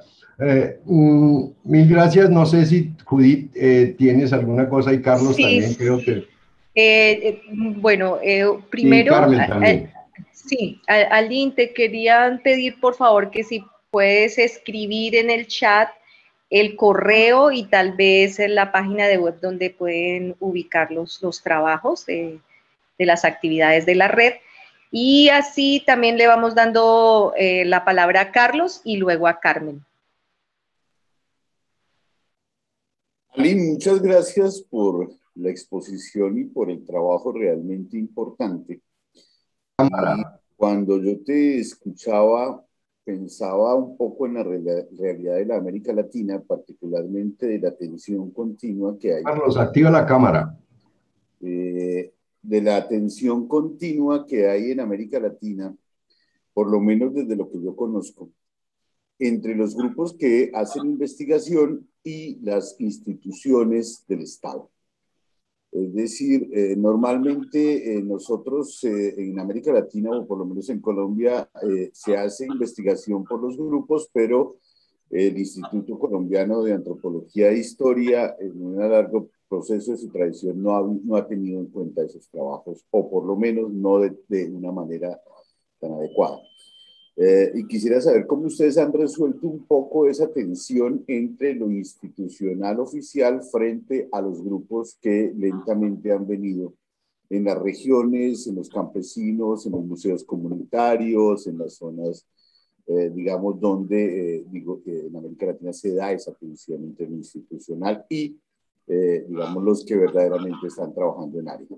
¿Cómo, ¿Cómo han resuelto un poco esos asuntos y cómo lo han pensado también, no? Sí, no, mira, yo creo que aquí, ahora sí que como dicen, yo es que estoy como, no soy ni de aquí ni de allá, ¿no? O, lo dirá la otra forma de la Chabela Vargas, ¿no? Pues yo soy de donde, donde quiero, ¿no? Pero bueno, eh, yo creo que aquí, aquí en, en, en, España, eh, eh, pues la, la, máxima institución pues son los ministerios, las universidades y dentro de, digamos que un poco la, la crisis económica que, hubo hace un par de años, lo que han intentado ahora los, los, pueblos o las zonas rurales, pues es precisamente, eh, la mayoría de ellos han enfocado a su turismo, ¿no? Y están locos, o sea, la mayoría de ellos, pues por buscar como un atractor hacia, eh, hacia los pueblos, ¿no? Eh, hay una frase aquí muy, muy, muy famosa que es la España vacía, ¿no? Porque realmente hay pueblos que están eh, vaciándose pues por la situación económica y los que no pues están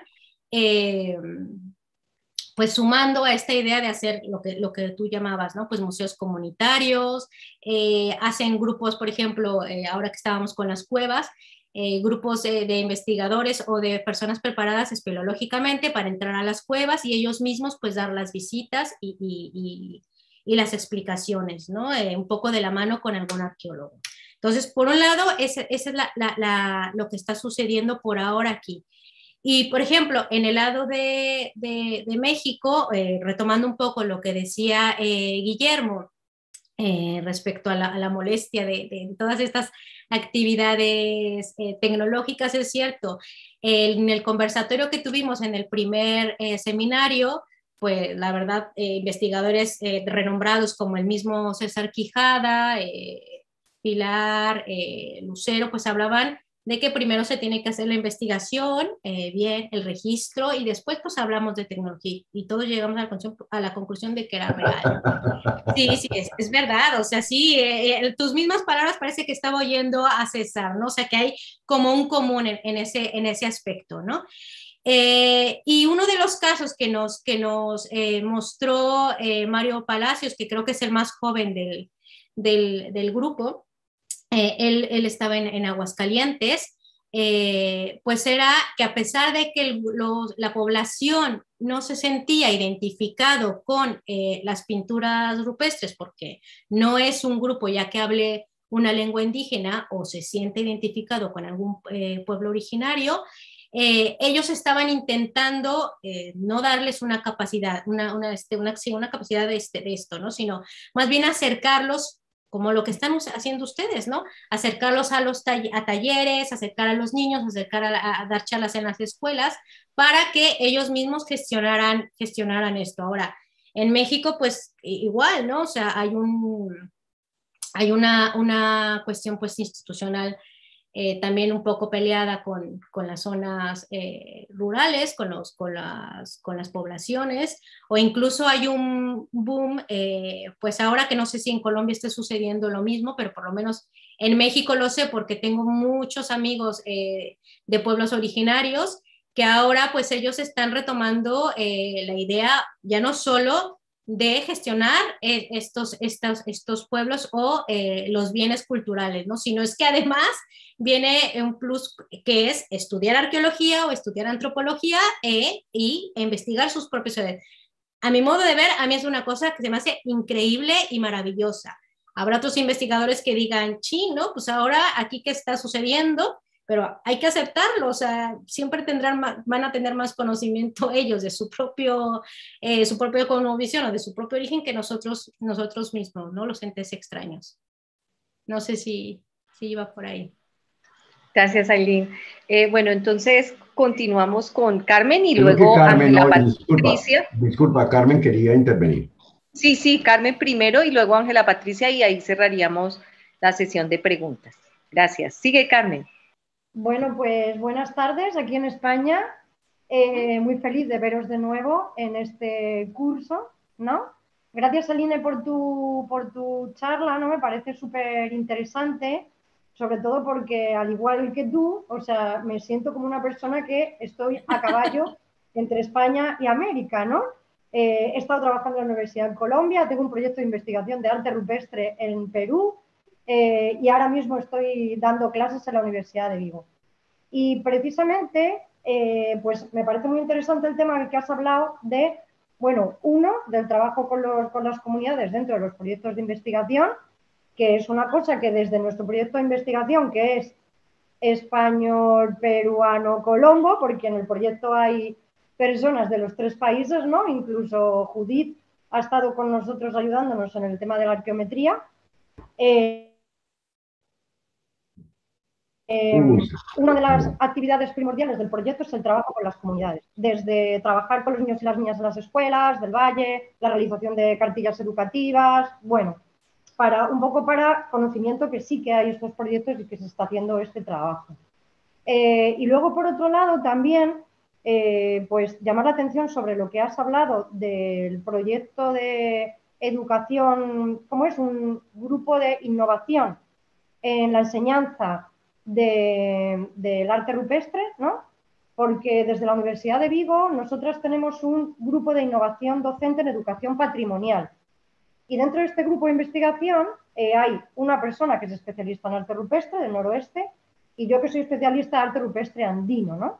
Entonces creo que sería bastante interesante que pudiéramos ver a ver qué cositas podemos hacer juntos, juntas, ¿no? Porque me parece muy interesante.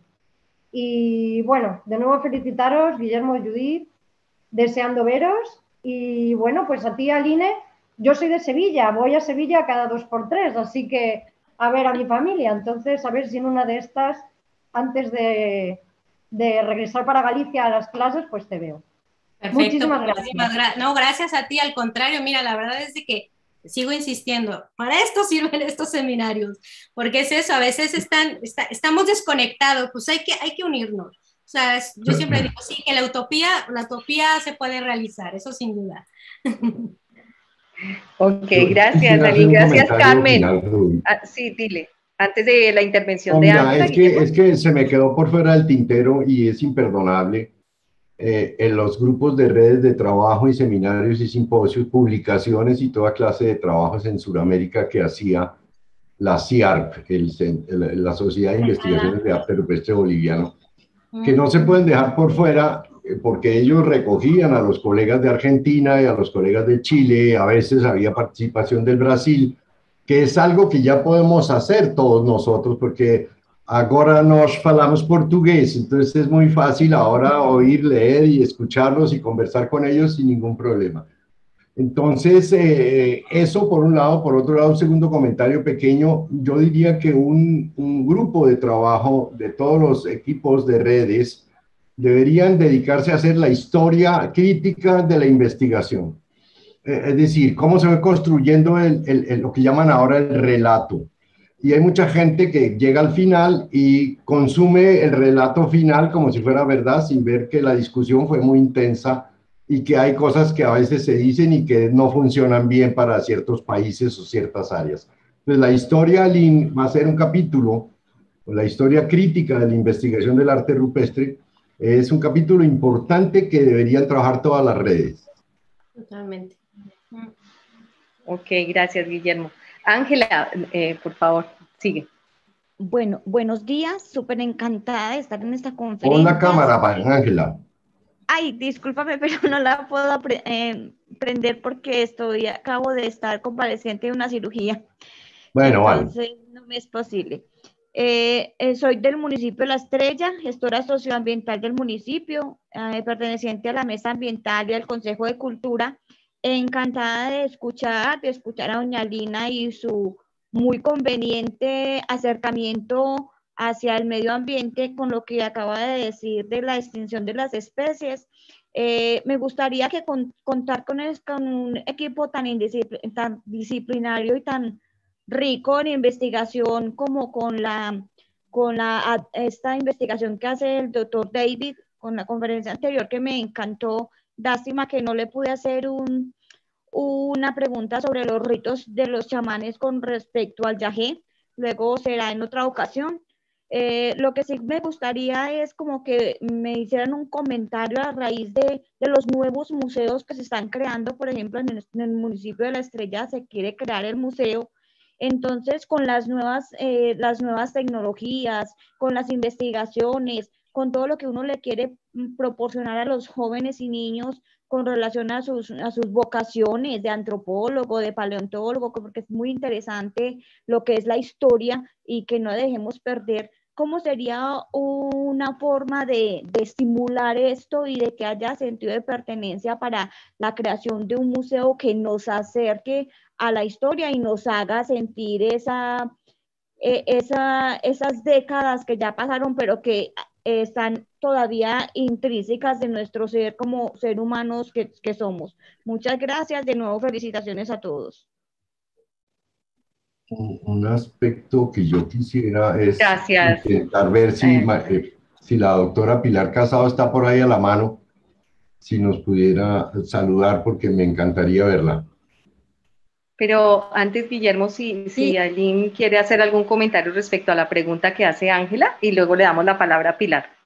Listo, vale. No, bueno, la, pregunta de Ángela, pues iba yo creo que más relacionada con, con los, con, pues con, su estudio de casa de ustedes, ¿no? O sea, la idea de, los, de los museos y todo. Yo no sé, eh, yo he hablado un poco de la red, pero creo que un gran ejemplo sería lo que hicieron ustedes, que eso no sé si lo van a hablar, pero que a mí me, a mí me encantaría escucharlo, que, que, fue esta, esta relación de, de lo que hicieron en el taller hace, hace un par de meses del taller con los niños, que creo que es una buena forma de, acercarlo a los, museos o a la paleontología, ¿no?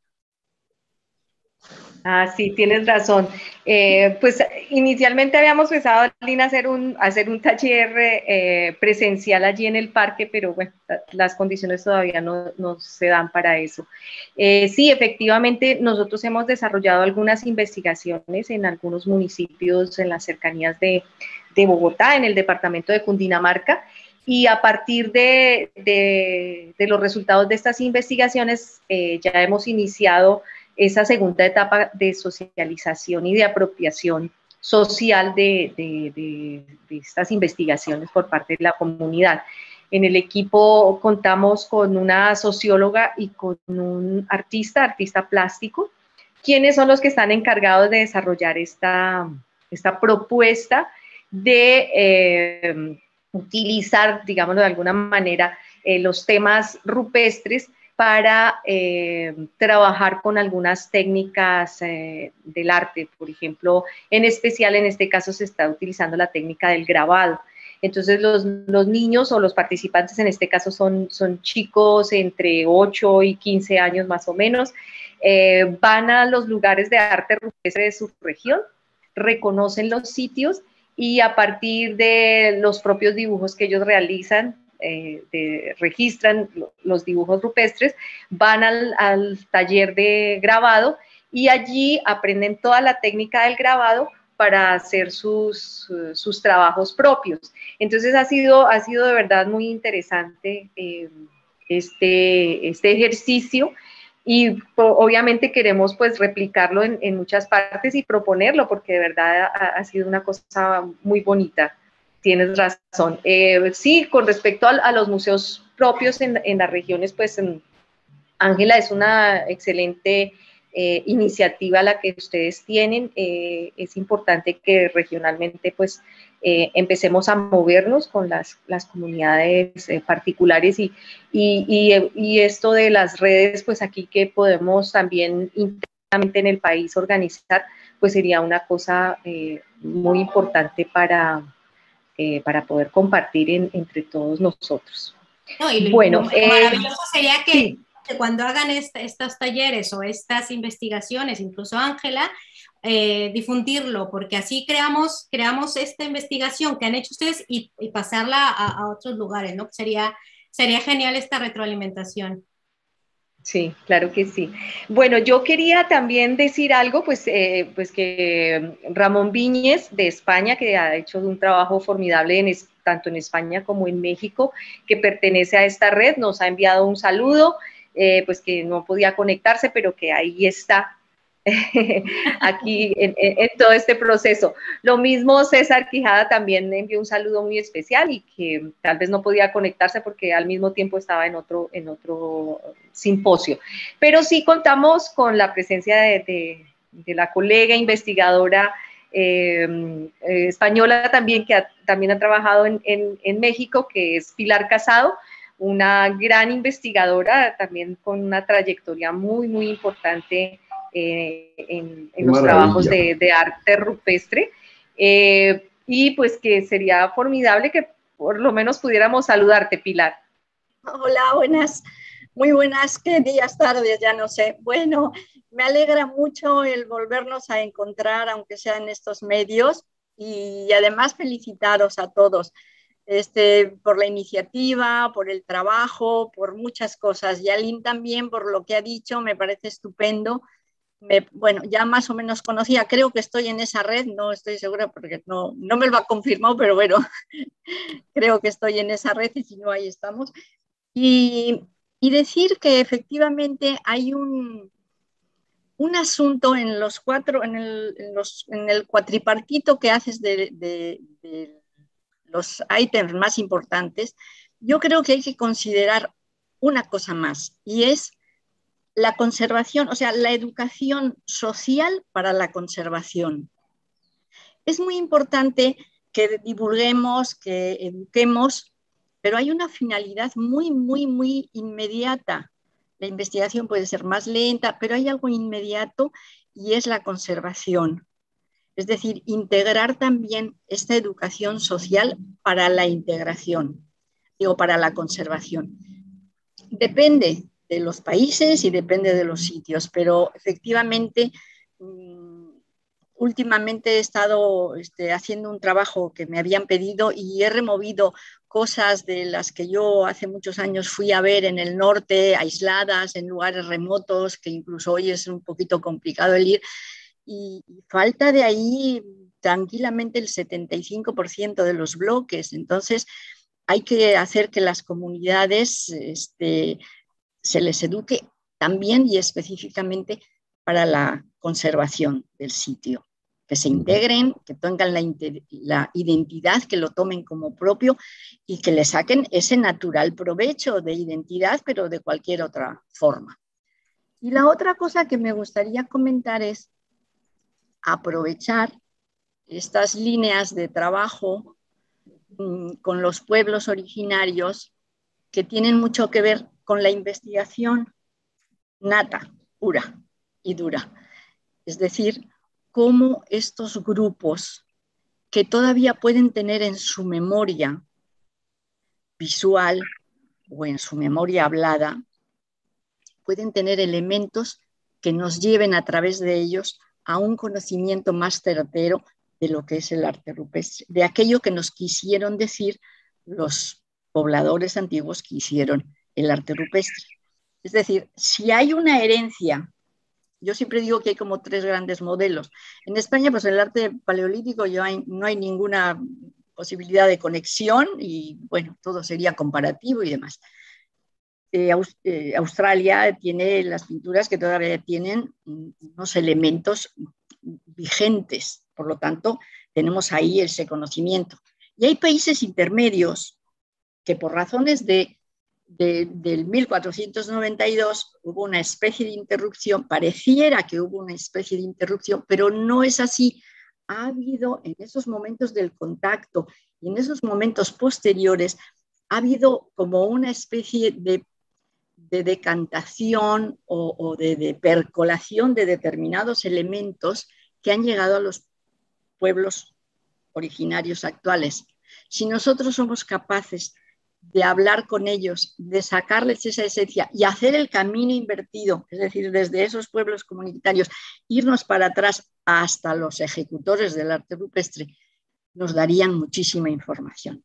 ¿Y por qué digo esto? Bueno, pues porque se está tratando de grupos originarios, de llevar, de, hacer este tipo de trabajo ah, también con los pueblos originarios. Entonces, sería una muy buena posibilidad, porque ya una vez entrado, una vez teniendo la confianza, sabiendo este, sus necesidades, conociendo sus intereses, pues también es más fácil que ellos nos comuniquen sus elementos del que sea, de celebración, de ritual, de, lo que queramos, ¿no? de gastronomía, de lo que queramos. Entonces creo que esos han sido mis dos comentarios. Felicitar a todos.